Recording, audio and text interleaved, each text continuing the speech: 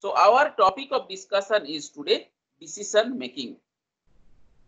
So in every business, every business, every activity of management is based on decision. Every activity, every activity of management based on decision. So decision making is the most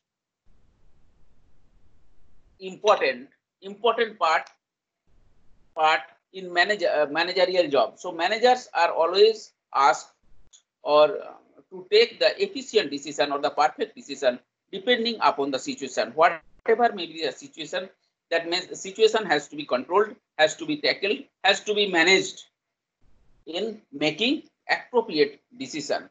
Where in where this so decision making is the main objective, the main objective in managerial job. If you are a good decision maker, your organization will run smoothly. If you are not, if you are not a good decision maker, your job won't be performed properly. Let me give you one example.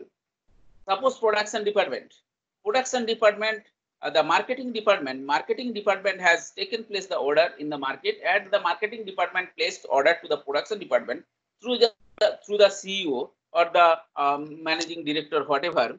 That yes, next month five quintals of a product has to be delivered in the market. So five quintals of the product has to be delivered in the market. So for to produce that five quintals of that product, you need to have the raw materials, you need to have the sufficient laborers, those who will handle the machinery, and also you need to have the organizational setup, machineries, etc., the machineries, production capacity and all. Let's take an example. If we are concerned, if your organization supports everything, suppose, suppose uh, these uh, laborers you have and machineries that, that um, production capacity also the machinery you have is uh, possible to produce 5 quintals so that it will not be pro a problem to produce 5 quintals. But the problem is now, problem is now to procure the raw materials, to procure the raw materials. So first you have identified the, the raw material. You have done already the market research. In market research, you have found out you need to produce the qualitative product. Otherwise, your product will not be sold out in the local market or where the market where you want to sell. Since your uh, your customers, targeted customers are the elite class customers, therefore price of the product is not the matter to those customers. They are bothered. They are, uh, they want the good quality product. Otherwise, you will not be able to compete your competitors, or you will not be able to uh, you will not be able to grab the market so therefore, uh, you therefore you need to produce qualitative product. To produce the qualitative product, you need to uh, you need to get the right kind of raw materials at right time. What is called just in time, because you don't want to don't want to store those raw materials because their uh, storage value is there, storage cost is there. So for that, the cost of uh, this price of the product will be more and then so you want to follow the JIT means just in time. At the time you need you will prepare the product. At the time you will produce the product. That time only you want to procure, you want to purchase from the market, and that to the that must maintain the good quality. Otherwise, the qualitative products will not be able to produce, and your targeted customers will not purchase that. Whether it is uh, if it, even if it is a high price, then customers are not bothered. So your problem your problem is to procure good quality of product and to produce five uh, quintals of the product. So this is the problem. So you have identified the problem. According to your identification, you will make the objective function. What is your objective function?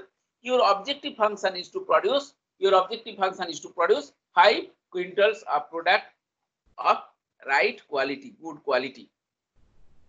So this is your objective function the objective functions also you have generated. You have generated the objective functions.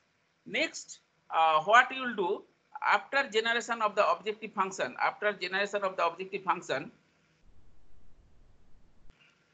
after generation of objective function, you will you will derive the um, constants. What are the constants you have?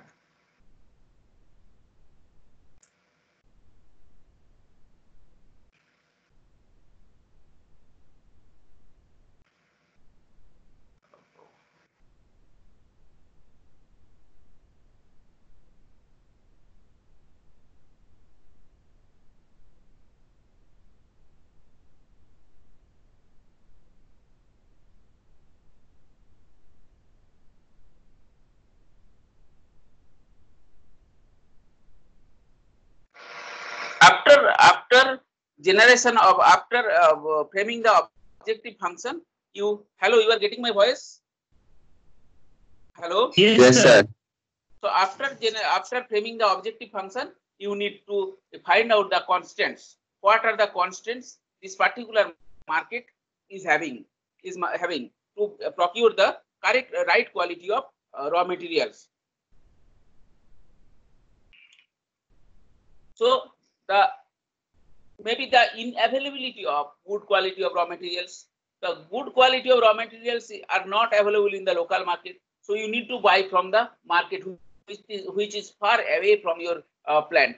So there will be one uh, carrying cost, there will be carrying cost that will also be added as the cost of production and then that will again increase the uh, price of the commodity, price of the commodity.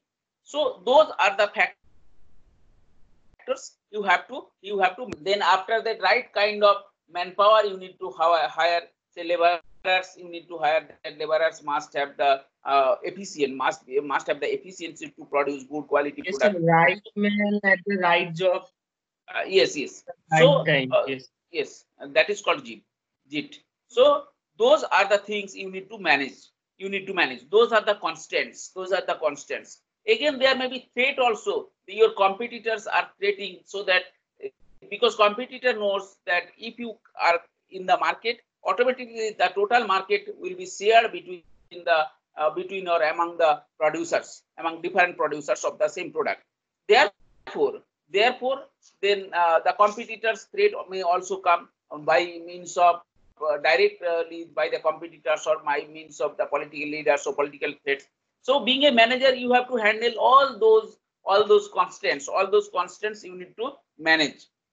Subject to that constants, you need to fulfill the objective function. You need to fulfill the objective function. If those constants are managed properly, if you are able to fulfill your objective function properly, then you will be treated as the efficient manager. In that case, in that case, uh, you will be framing the um, uh, decision model. You will be framing the decision model uh, with the help of different decision variables.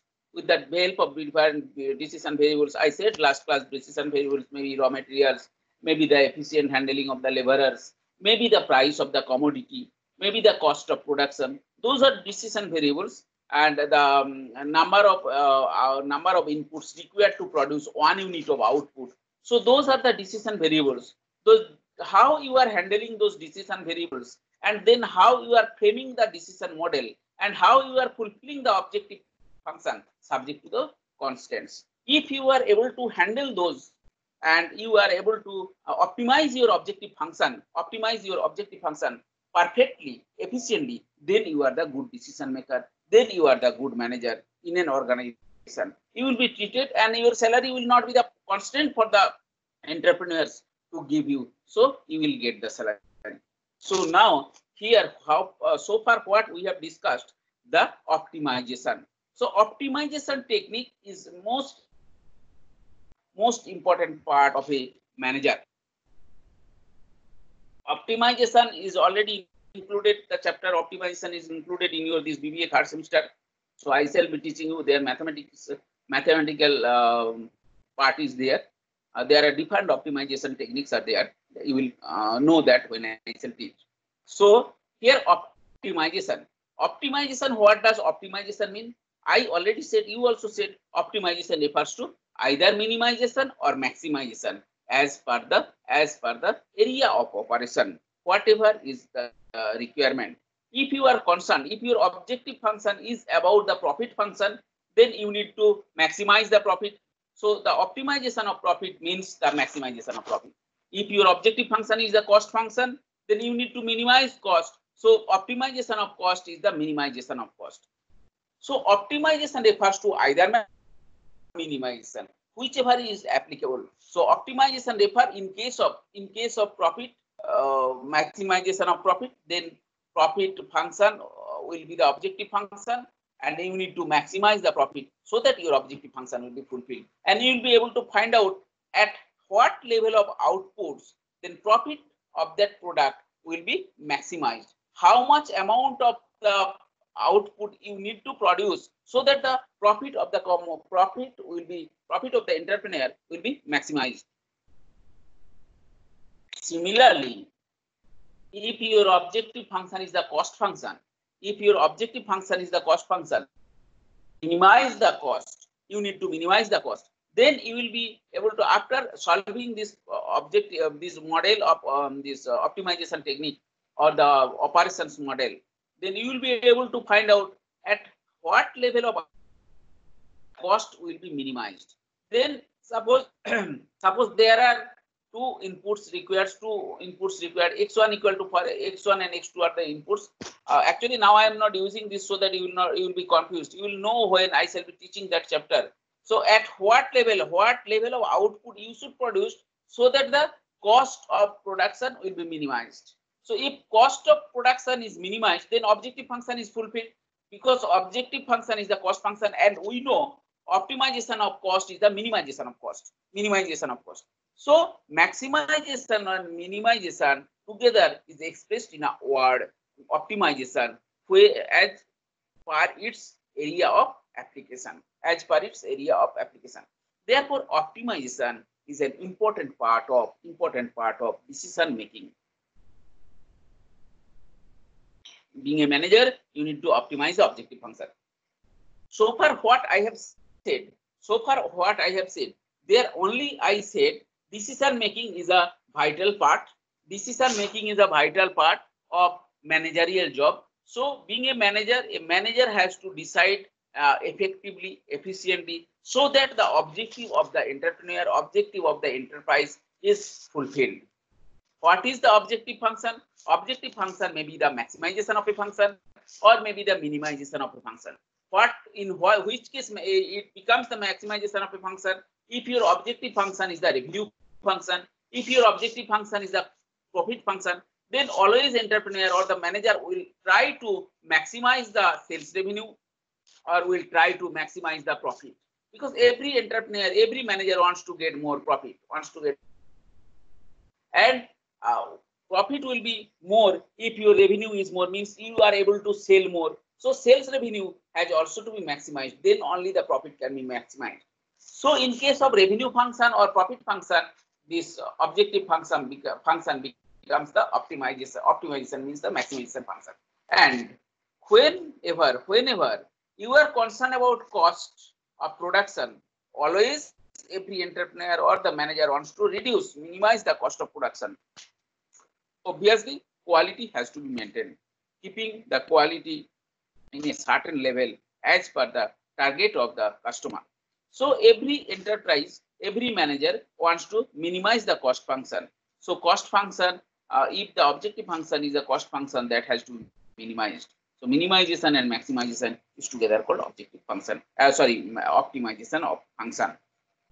So the decision making, decision making actually includes or has different features. It is goal oriented it, because you frame an objective. It is the goal of the goal of the enterprise or goal of the enterprise or the goal of the organization.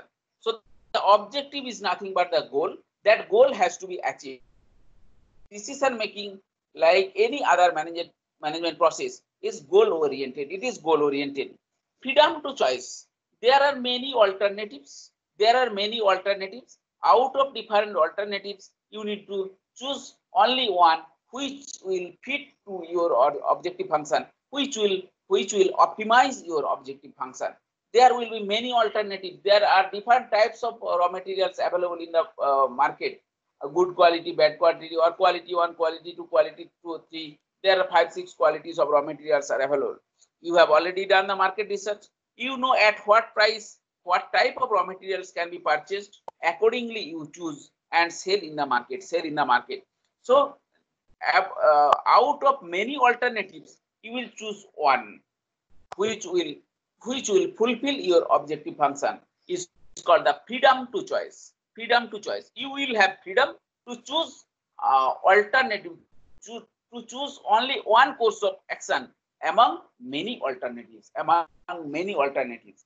If there is alternative, if there is alternative function, then only you will be able to get to choose. Otherwise, decision making will not be done perfectly if there is no alternative. Because we will come afterwards, you will know there are different situations under which a manager goes or takes decision or make a decision.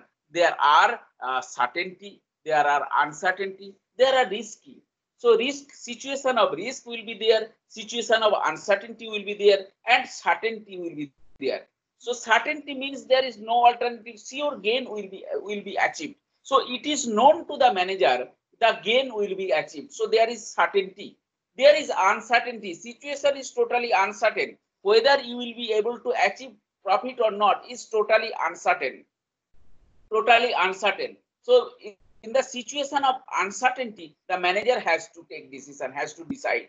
Then if the if the in uncertain situation, if the manager is able to achieve the goal, then he is the perfect manager because he has taken the right decision, chosen the right decision to make the to fulfill the objective function. That is why he is an efficient manager because of his experience. Next one is uh, risky situation. Yes, your gain will be achieved. There is no doubt, but you need to take risk. You need to take risk. If I give you the example of certainty, uncertainty, and risky situation, let's take an example. Uh, say, say in post office, you will find there are different uh, different schemes. Kisan Vikas Patro, Indira Vikas Patro, there are different schemes. So if you purchase, being a investor, for example, you have small savings. Uh, you want to uh, you want to invest in the market. Where you will be investing? The alternatives are post office. Alternatives are in different mutual funds or uh, some other uh, risky situations, stock markets and all uh, risky situations. And there are some other situations where uncertain this um, uh, this uh, stock market and all where you are uh, where you are um, trading. So risk and uncertainty uncertainty come side by side. They run side by side. They go side by side. But certainty is completely different. If you buy that Kisan Vikas Patro, India Vikas Patro or policy, different policies offered by the post office, then what will happen? You after a a maturity period after the maturity period or in the bank also there are fixed deposits are there. After the certain years certain years you will achieve uh, or your money will be double after uh, after 10 years or uh, 12 years your money will be double so here the gain is sure is known to the investor. After 10 years or 12 years he will his 10000 will be the 20000 it is known outcome is known, result is known to the investor. When the result is known to the investor, then the it becomes uh, it becomes easier for the decision maker. It becomes easier for the decision maker to take decision. Yes, after 10 years or after 12 years, 10,000 will be 20,000. So it is easier. So you you decide whether you will after 10 years you want to get uh, 20,000 or before that you want to get 20,000 if you know that yes after 10 years also if you get 20000 there is no problem. Then you need not go for the uh, uncertainty situation or the uncertainty situation or the risky situation. You take decision in certain situation. So you invest yes sir, in, in the last semester you taught about the risky uh, three kind ah, of people yes, that yes yes. wants that 100% to be ah, deposited yes, in the government based like bank post office then 50% uh, another kind of category spends 50% in mutual funds and 50% in banks or post office uh, and uh-huh. another third so, category uh, is of total risk 100% yes. in the mutual fund or debentures like kind of uh, so uh, so the situation is certain certain situation certain situation wherein you are taking the decision and other two are uncertain or risky situation there risky situation if you take risk there are more chances more to get gain, but there are chances to lose also. Uncertainty situation also similar to the risky situation, but there are different of the area of application. In terms of area of application, there are differences. So the manager takes decision in the situation of certainty, situation of uncertainty, and situation of risk. But there are many alternatives. Uh, alternatives are post office, alternatives are stock markets, and alternatives are uh, different um, uh, uncertain situations uh, whether price will be uh, price will increase, decrease, another situation. So out of those alternatives, you have to choose only one, depend, being a efficient manager. So judgmental sometimes becomes emotional also, emotional also. Emotionally, sometimes the managers make decision, managers make decision. But you see, those are the different situations in which managers decide, in which manager decides and take decisions. Sometimes there is uh, gain, sometimes there is a loss. Those occurs. Those occurs uh, in the organizational setup. Accordingly, you are treated whether you are the efficient manager or not. Then decision making, there are different theories of decision making. Mostly there are three theories which we find are the marginal theory, are the mathematical theory, are the behavioral behavior decision theory, behavioral theory. So what is marginal theory? If you can recall the first semester, what I have taught you, the firm always maximize profit when marginal cost is equal to marginal revenue. Marginal cost is equal to marginal revenue. Here also, uh, so profit is profit is maximized and the firm reaches into the equilibrium position you have studied. MC equal to MR and MC cuts MR from below. But here MC cuts MR is uh, obviously there when we will draw the uh, cost function and the uh, equilibrium condition of the firm.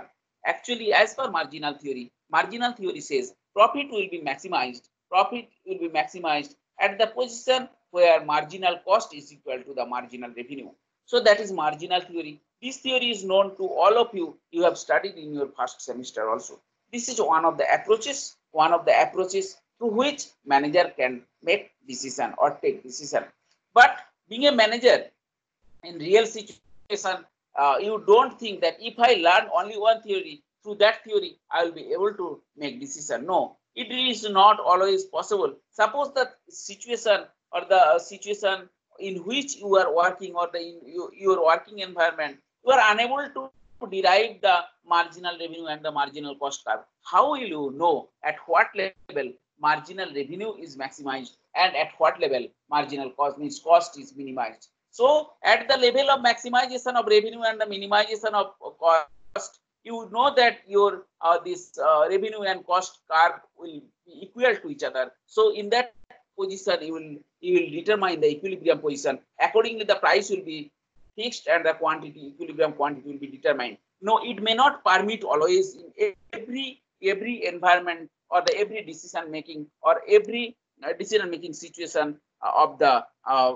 of the firm or the enterprise. So depending upon different environmental setup, you need to take decision. So this is about the marginal theory. Marginal theory says the uh, profit will be maximized at the level where marginal revenue is equal to marginal cost. Then most popular and the important theory is the mathematical theory or the mathematical model. Already I have explained to you the mathematical model is the most popular model to which most of the manager tries to most of the manager try to make a decision in organizational setup whatever make the whatever means depending upon the uh, different environmental situation what is mathematical model? Mathematical model says, mathematical model says, first you will try to find out the problem. Where is your problem? Problem is, problem is to fix the objective function. The objective function of what? What objective you want to fix? Maximization of profit. If maximization of profit, you derive a mathematical equation, the maximization of profit function. Maximization of profit function. Now you are learning theoretically uh, in uh, MBA level or optimization function also in third semester there is little bit that also I will teach you.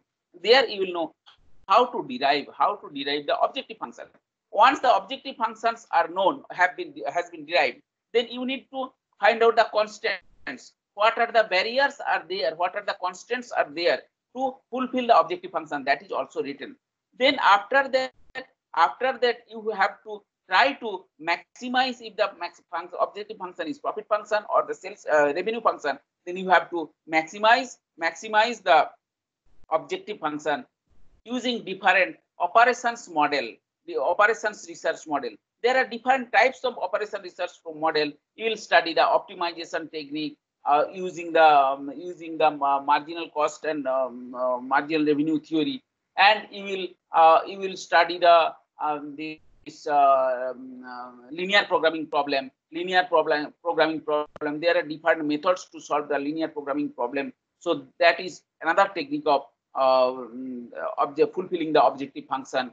Then, uh, then the game theory is there. So depending upon the situations in which you are working, in which situation you need to take decision, then different mathematical uh, model simulation technique is there, different, different mathematical queuing problem is there, different mathematical models are set up, set up, framed. And depending upon the objective, uh, constraints are framed, accordingly, the objective function is fulfilled. But remember, the if the objective function is the profit function or the revenue function, then the objective function has to be maximized. So the maximization of, of, of a function, and if the function is the cost function, objective function, in that case, you need to minimize the cost. So your objective function is the minimization of cost. Whether it is minimization or maximization, it is called together optimization.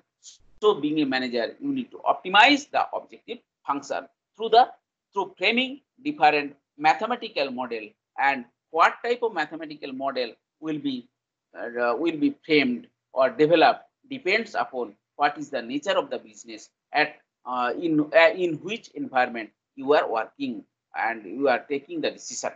And the third uh, third uh, theory is the decision making uh, the, uh, theory of decision making is the behavioral theory. Behavioral theory Uh, is also little bit similar uh, logically uh, to the mathematical model mathematical model. But here this is uh, what in mathematical model what you can prove you can justify through solving the mathematical equations or the mathematical techniques. But here those justification will be done through logically. So logical technique recognition of the problem in case of the mathematical model also i said you need to identify the problem here you are recognizing the problem you are analyzing the problem with your team members your total uh, marketing team, production team, finance team. So there are different teams. Being a managing director, you are calling meeting and you are analyzing the problem. You are studying the problem and you are finding out different alternatives from the uh, from the members, those who, who are in your team. And from there, from there, you are selecting the best out of many, best solution out of many. So it is type of emotional type of behavior of all the team members are involved here. And lastly, you are taking decision. This is the behavioral model of decision making. This is the behavioral model of decision making. So mainly those three theories of decision making you will be studying and then um, certainty, uncertainty, risk, the situation where uh, in which you are working or making decision that will be studying and then framing the objective function and optimizing the objective function would be the task of decision uh, making. So being a manager, you need to take decision, you need to take decision. So decision making is the most important part of managerial job. And for that, the environment where you are working, whether it is risky, whether it is certain, whether it is uncertain, you, uh, where you are working or where you are making the decision, and the different theories, uh, marginal theory, mathematical theory, and the behavioral theory, uh, those you'll be studying. And most popular mathematical theory, you need to explain the objective function and how to fulfill the objective function subject to certain constraints. So with the restrictions, with the constraints, you need to fulfill the objective function subject to different constraints. That's all about uh, decision making introduction. Uh, introduction already I have given last class and today I have explained what is decision making, uh, how decision making is important for a managerial job, a managerial job and the situations will be working in certainty, uncertainty and risk and different theories of decision making. Thank you.